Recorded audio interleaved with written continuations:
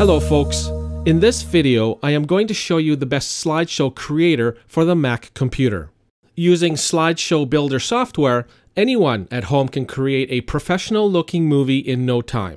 Let's show you how to do that right now. What we will do first is click the link in the description box below to visit the website slideshowcreator.net. Click the Mac Download button to begin. Once downloaded, follow the instructions to install it.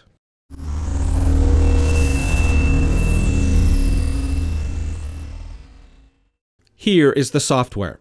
The first thing you want to do is sign up for a free Fantashow account if you haven't already done so by clicking on the F sign up icon here in the top right corner.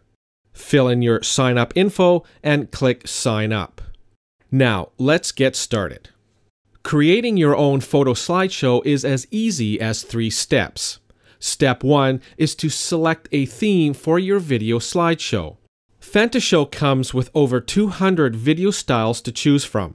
The categories menu here on the left pane breaks out the various themes by category, making it simple for you to choose just the right look for your video slideshow. Previewing the look of the theme is as simple as just hovering your mouse over the theme's thumbnail image to get an idea of its look and feel. Now click on the thumbnail image to get a bigger picture.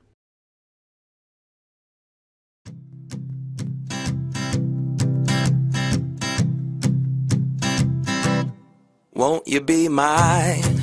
When you are satisfied with the theme of your choice, click the Apply button here in the top right to apply it to your video slideshow. Fantashow now takes you to the next step. Here in step 2 is where you create the slideshow.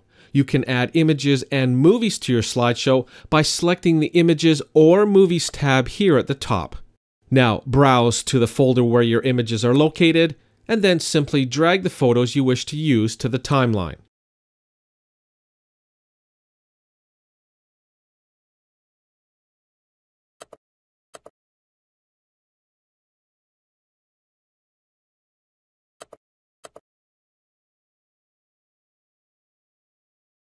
Adding a movie is just as simple as selecting the Movies tab at the top, locate the movie you wish to include in the slideshow, and then drag and drop.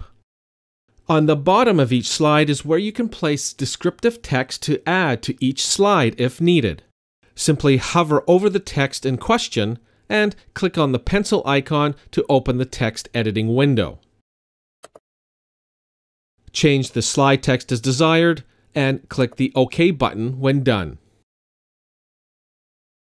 You can also have the option to customize the media by hovering your mouse over the photo or video you wish to edit and click the Edit button here at the bottom right of the thumbnail image.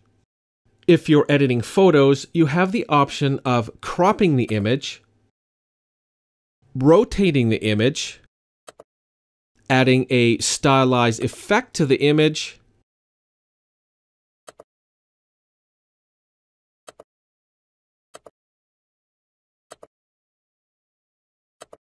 and changing the on-screen duration time of the image. When you're done customizing the photos, click the OK button. Editing movies, you have the extra option of trimming the beginning or ending of the clip.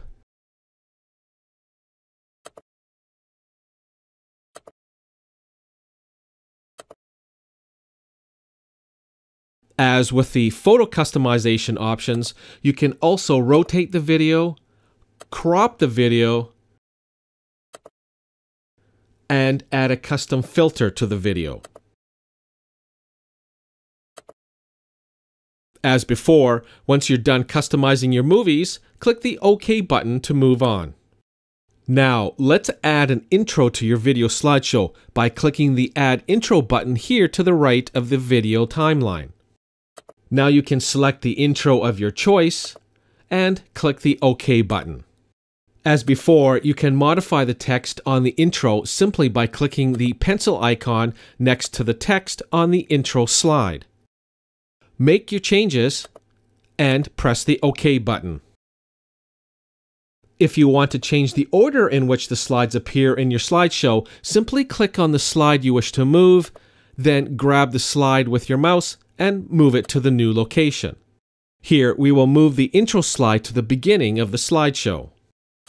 You can preview any of your changes at any time simply by clicking the play button in the preview window.